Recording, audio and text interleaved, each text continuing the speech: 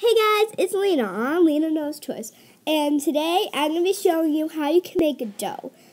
Um, I did not get a lot of requests for this. I just really want to do it.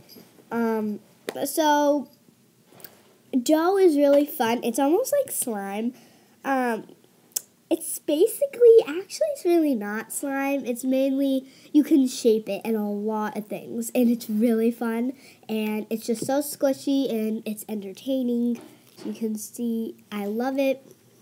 Um, and there's only two ingredients, and one of the ingredients is optional. So what you're to need is dish liquid. I tried all dish liquids everyone worked, so you you can use any dish liquid. Doesn't matter what color, what brand. Cornstarch.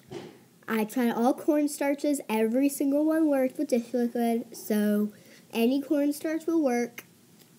And optional food coloring.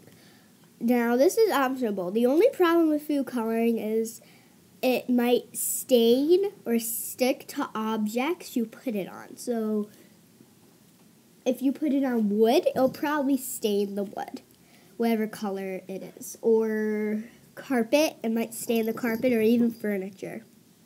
Sorry guys, that was my cat. So just be careful if you use food coloring, and if you do, make sure.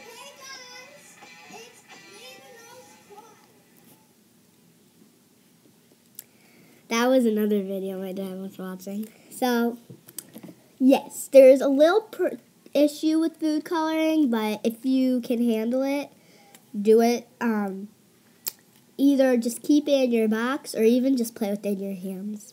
I know, whatever. So, um, so what you're gonna do is you're gonna need three tablespoons of cornstarch and one tablespoon of dish liquid. All right. Now, if the dish liquid is supposed to bring the cornstarch all together, um, if there's not enough dish liquid, go ahead, be free, add as much dish liquid as you need. So, yeah, dish liquid also. So, mm-hmm.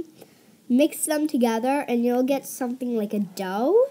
It it's not going to be slime, but it's going to be together. And then whatever coloring your dish liquid is, is gonna be the coloring of your slime if you don't use food coloring. So if you have, for instance, blue dish liquid, your slime is going to be blue. Or green dish liquid, your slime is going to be green. So, and if you want like a pink food coloring, go ahead. But if you use food coloring, two to one drops or one to two drops, whatever.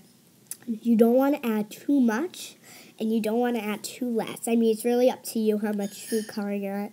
The more drops, the bright, like the more dark it is, and less drops, the like brighter it is. And I would say less drops because this looks like a mint, and it's really awesome. So, yeah.